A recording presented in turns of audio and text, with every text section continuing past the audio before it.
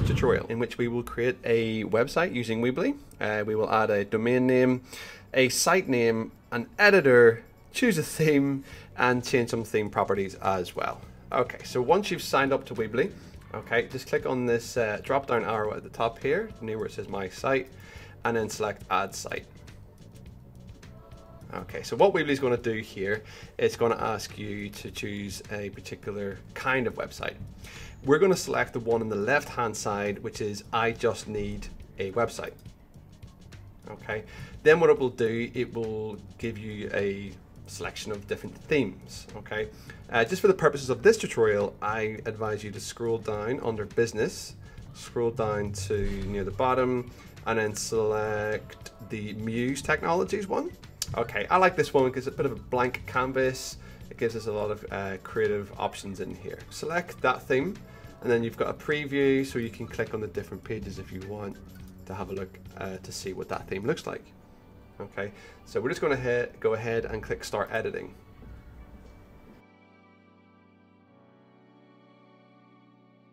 Okay, let's put in our domain name, otherwise known as a web address or URL, which is SEIS G6, followed by the five numbers in your student ID. Okay, so just put that in. I think I've used this number before, so I'm going to put in one, two, three, four, seven. Click the search button uh, just to make sure that that domain is available, which you can see it is at the bottom here, okay, under subdomain.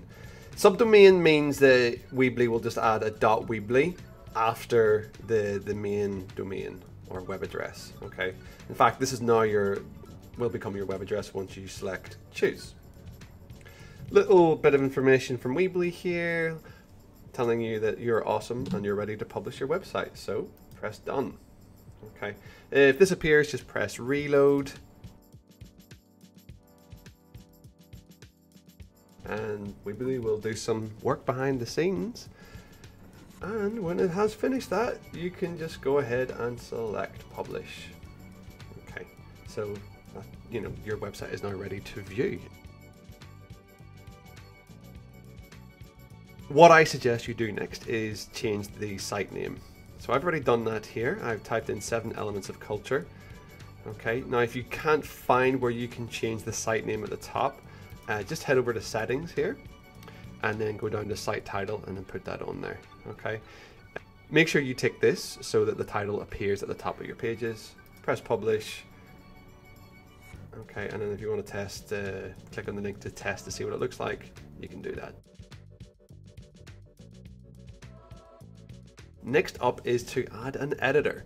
So head over to the left hand side here select editors and go over to the right hand side and then select add editor Okay. What you're going to do is you're going to add in the email address of your the person you're working with, the editor. Okay, so what I'll do is add myself here. Put that in. Then you can include a beautiful message if you would like for your editor. Otherwise, just click save. And then what Weebly does, it uh, generates an email and it would send it to uh, that person. What your editor needs to do is to open the Weebly email and then click here to get started. Okay, so what that does, it just brings them to the Weebly website. They should have already been logged in, uh, otherwise they just need to put their information back in there again. Okay, and then that person can start editing. There's a there is one thing you must be aware of. You cannot edit the same page at the same time.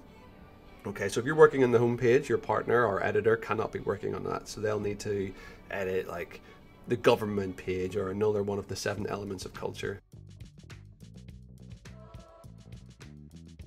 Okay, you have your theme, but you don't like the font type. Fair enough. Go over to theme to change it, okay? When you select theme here, it brings up this sub menu. So we're gonna go to change fonts and we're gonna go to headline and then we're gonna change this font to something a little bit more sensible. Maybe Droid Sans here. And then from there, you can also change the size and the color. Okay, you have a whole other bunch of options that you can go through at your own pace.